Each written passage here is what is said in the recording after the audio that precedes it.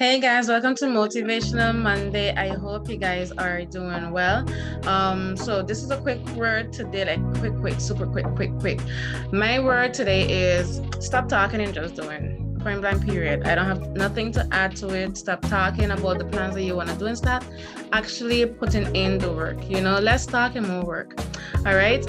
I hope this just motivates you to just do the thing. You understand? Um, I hope you guys have a blessed and a wonderful day. I'll see you guys again next time.